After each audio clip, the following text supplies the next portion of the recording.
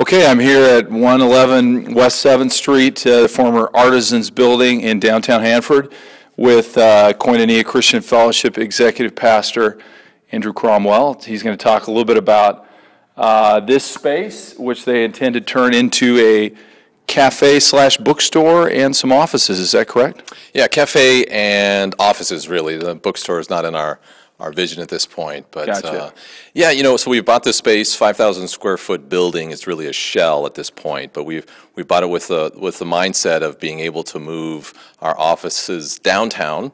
Uh, We do have a campus that's uh, in the city limits, but it's on the extreme south. Right. uh, Or, I'm I'm sorry, extreme west of the city limits, and, and uh, we, we don't want to abandon downtown. We, we feel that our heart needs to be close. We feel Seventh Street is important. Right. And so we want to get our people down here uh, in terms of our offices, but we also think it'd be wonderful to serve the uh, community here with uh, the business community as well as the local community with, with some cafe options downtown. I think it'd be nice to have a, a non-Starbucks option, maybe. Are, are you thinking along those lines? Well, I don't want to say anything bad about Starbucks. You know, I'm a frequenter of Starbucks myself, but uh, but yes, it would be nice to have a few other options. Now, the fact that your campus is kind of outside of the, the city's sphere of main activity, did that factor into your decision to want to become more, more of a presence here downtown?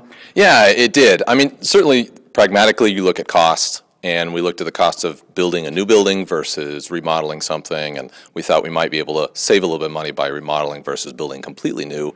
But then we started to think about the fact if we were completely on our campus, it's really nice. I mean, our campus is accessible, it's visible, but you don't have a lot of people just sort of driving by, right. walking by, and there's something about being at the center of town that I think reflects our heart, which is one that wants to be involved in the community, wants to be here for people, uh, be here for the city, and, uh, and so that really did influence our, our decision to be here.